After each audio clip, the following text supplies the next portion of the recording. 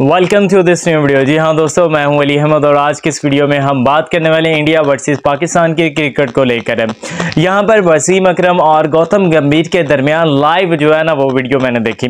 वो वीडियो देखने के बाद वाकई भाई, ये प्रूव हो गया कि इंडिया वाले तारीफ़ के काबिल हैं। और हमारे वसीम अकरम है जो कि पाकिस्तान से बिलोंग करते हैं एक्स क्रिकेटर है। वसीम अकरम, वो भी खुले आम सरे आम उन्होंने जो है ना इंडिया की तारीफ़ की है। अरे भाई, जो टीम अच्छा करेगी, जो टीम सही परफॉर्मेंस देगी, उसकी हर बंदा तारीफ़ करेगा। अब पाकिस्तान का हम क्या कर सकते हैं? पाकिस्तान की परफॉर्मेंस तो बिल्कुल नज़र नहीं आ रही। अगर इंडिया की बात करें तो इंडिया के पास विराट कोहली है, रोहित शर्मा है, जसप्रीत बुमराह है, शमी है, सिराज है, और अच्छे अच्छे प्लेयर हैं। जिनका मैंने नाम लिया, ये तो उनके फेवरेट है ना? और पाकिस्तान के भी फेवरेट है। पाकिस्तान में भी लोग इनको पसंद करते हैं। और बेहतरीन प्लेयर है ये इंडिया के पास। है यहाँ पर पाकिस्तान में बात की जाए तो बाबर आज़म है, रिजवान है शदाब है, हारिस है, नसीम है, और उसके बाद शाहीन शाह फिदिया ये प्लेयर है। बाकी प्लेयर जो आ जाते हैं, इसमें जफ़र आ जाते हैं, अज़हर आ जाते हैं, आगा आ जाते हैं, अली आ जाते हैं, हसन आ जाते हैं, ये बात छल्लू मल्लू है, वैसे ही है। इनका तो कोई काम ही नहीं ना। टीम में कोई काम ही नहीं नज़र आता। अब आप चार प्लेयरों, पाँच प्लेयरों के साथ आप क्या करोगे पाकिस्तान वाले? यहाँ पर जो उनके गौतम गंभीर है, उन्होंने भी खुले आम कहा। जब चल रहा था ना लाइव वसीम अकरम का, वसीम अकरम ने इंडिया की तारीफ़ की। और बदले में आगे हमें सुनने को ये मिलना चाहिए था ना कि पाकिस्तान की भी टीम अच्छी है। चले, इस बार वो बांग्लादेश से टेस्ट सीरीज़ हार की कोई बात नहीं।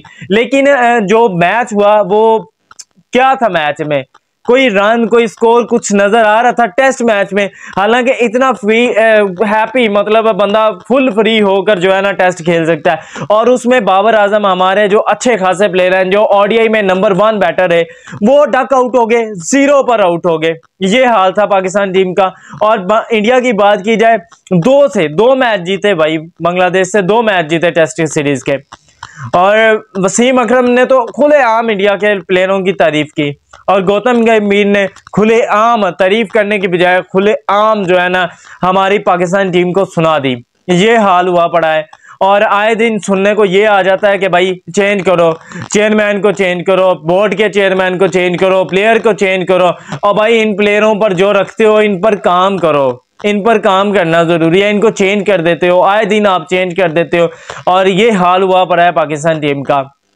कुछ समझ में नहीं आ रहा कि पाकिस्तान टीम आगे जाकर क्या करेगी या क्या करने वाली है। कुछ है, कुछ नज़र आ रहा है, कुछ नज़र नहीं आता। जैसे नज़र आता है ना भाई, विराट आए हैं। भाई, सबके जहन में होता है कि विराट आज फिफ्टी ठोक डालेगा। हमारा पाकिस्तानी प्लेयर आता है। यही प्लेयर हम सोचते होते हैं कि भाई आउट ना हो जाए।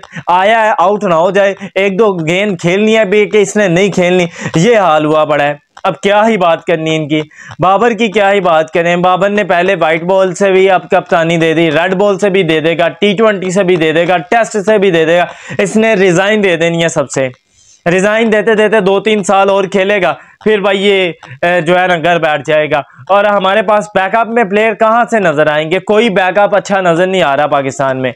बाकी आपको क्या लगता है पाकिस्तान टीम और इंडिया की टीम के बारे में? आप अपनी राय का इजहार लाजमी कीजिएगा कि दोनों टीमों में क्या चीज़ है? किस वजह से टीमें अच्छी खेल रही हैं? या फिर हमारा जो स्पोर्ट है जिसने बोर्ड है, जिसने स्पोर्ट करना होता है, क्या वहाँ से कोई स्पोर्ट मिल रहा है?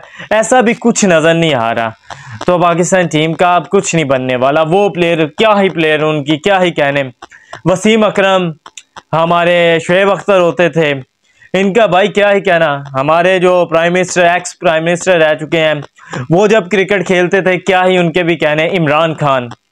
तो वो प्लेयर थे वो बॉल करवाते थे भाई प्लेयर डर जाता था।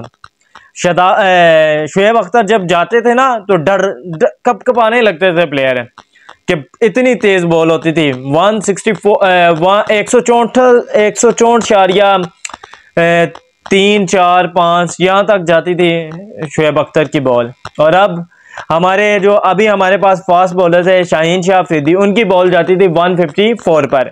वो भी आ गई है 128 पर, क्योंकि 175 रन तो करवा देते हैं इस बंदे से।